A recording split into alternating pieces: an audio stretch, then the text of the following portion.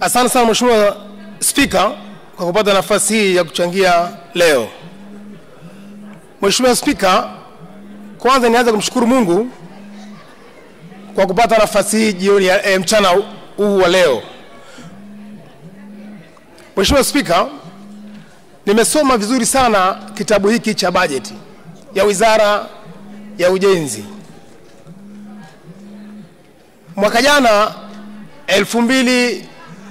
2021 Mheshimiwa Spika, barabara ya kwetu hii inayoanzia Mbulu I mean Karatu, Mbulu, Haydom, Sibiti ilisha kuwepo kwenye mpango huu wa kujengwa.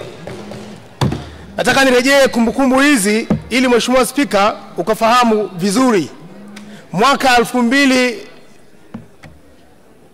ilikuwa kwenye ilani ya Chama cha Mapinduzi barabara hii hiyo elfu mbili kuja elfu mbili na tano. Lakini elfu mbili na tano kuja tena elfu mbili na kumi. Elfu mbili na kumi kuja elfu mbili na kumi na tano. Elfu mbili na kumi na tano kuja elfu mbili na ishirini na tano. Mheshimiwa Spika, nataka kuonyesha nini? Nataka kuelezea tu Mheshimiwa Waziri ajue kwamba hii barabara ambayo imekuwa katika ilani kwa muda wa miongo hii minne mpaka leo, Mheshimiwa Spika, haikujengwa kabisa kwa kiwango hicho cha lami. Lakini ukiangalia Mheshimiwa Spika, nimekuja na ilani kabisa hapa hizi mbili, ili walau ya ushahidi na ajue Mheshimiwa Waziri kwamba kwa kweli sasa mimi nimetumwa huku kuiomba barabara hii na nimeombwa sana, wananchi wanapata shida kwa sababu tu barabara ile inakwenda kwenye hospitali kubwa ya rufaa ya Haydom. Hiyo hospitali Mheshimiwa Spika, inategemewa na majimbo saba, lakini pia hospitali hii pia pamoja na majimbo haya, mvua ikinyesha, Mheshimiwa Spika, barabara hii haipiti kabisa. Nimeona kwenye bajeti hii ipo imetengewa fedha. Mheshimiwa Spika, ukiangalia sasa hivi mwaka jana, Mheshimiwa Spika, kama itaruhusiwa hapa naweza kukumbusha kidogo kwenye kishwambi changu, ninayo sauti ya Mheshimiwa Waziri aliyetangulia wakati anahitimisha bajeti yake hapa, akatangaza kabisa hapo, Mheshimiwa Spika, barabara hii inajengwa kwa kiwango cha lami kutoka Mbulu kuja haido Mheshimiwa Spika. Na mwaka jana, Mheshimiwa Spika, bahati nzuri ulikuwa hapo, na kama itaruhusiwa, Mheshimiwa Spika, ni, ni, ni, ni, ni, nifungue hapa. Ili aone kabisa. Ambayo tumeanza kuitangaza wiki hii ambayo ni kama ifuatayo: barabara ya Mburu haidom kilomita 25, barabara ya Mheshimiwa Spika, nataka tuone kwamba mambo yalivyo hapa eh? Mheshimiwa Spika, sio sio hiyo tu, sio hiyo tu. Mheshimiwa Spika, katika majibu ya wizara hii, mimi nawapenda sana Mheshimiwa Mnyaa, rafiki yangu kabisa, Mheshimiwa Grayson, rafiki zangu kabisa, lakini majibu anaonipa kwa watu wangu kule, Mheshimiwa Spika, ni hatari. Sikiliza na hii Mheshimiwa Spika. ya Mbulu na hasa Mbulu Haydom yenye kilomita 50. Kwa hiyo nimhakikishie Mheshimiwa mbunge kwamba barabara hii ambayo pia Mheshimiwa aliombea kuipiga sarakasi itatangazwa kabla ya mwisho wa mwaka huu ili ianze kujengwa kwa kiwango cha lami. Mheshimiwa Spika, mimi sina shida leo, nimekuja kwa amani kabisa. Ndugu zangu hawa, nimekuja kwa amani kabisa leo, na napenda niseme kwa amani ya Mungu, na Mungu awatembelee na hawa. Sikiza Mheshimiwa Spika, mwaka jana wamesema kwenye bajeti hapa kabisa kwamba kwa kweli watatangaza, na nikaomba kushika shilingi hapa, wakaahidi vizuri kabisa, na mimi nimechukua sauti hizi kwenye loko yetu ya, ya, ya, ya media hapo. Na, na ni- ninayo kitu kinachoitwa nini, maneno yote na hotuba yao na mwisho wa kumalizia. Mheshimiwa Spika, niwaombe ndugu zangu hawa, kwa sababu walisema watatangaza, muda umepita mwaka mzima, sasa hawatangazi hii barabara, na kama wametangaza, wananchi wetu kule hawajui kutangazwa huko barabara. Ni mwaka mmoja tangu wakati wa mwaka jana ule, Mheshimiwa Spika.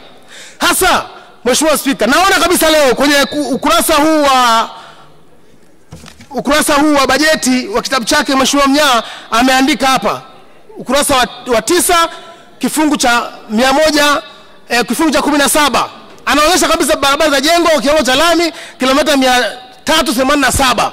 Hasa mimi hoja yangu tu ya msingi nimeona hapa hoja ya kamati. Kamati wameandika kabisa kwamba kwa bajeti ya mwaka jana fedha umepeleka kulipia madeni. Sasa Mheshimiwa Spika, niambie kama fedha zimepelekwa kulipa madeni na wao wameniahidi mwaka jana hapa barabara hii inajengwa leo mwaka mzima umeshapita hiyo tangazo linachukua muda gani Mheshimiwa Spika, mimi leo hapa sio shilingi tu, mimi shilingi hiyo wananchi wameniambia niichukue nirudi nayo Mbulu vijijini, maana hapa hamna namna tena. Unajua kabisa hapa nikipiga sarakasi utanitoa nje, na kama unitoe nje nianze saa hizi. Alafu moja kwa moja unajua kabisa huyu ndugu rafiki yangu hapa, nafanyaje sasa mheshimiwa? Lakini wananchi wanataka barabara.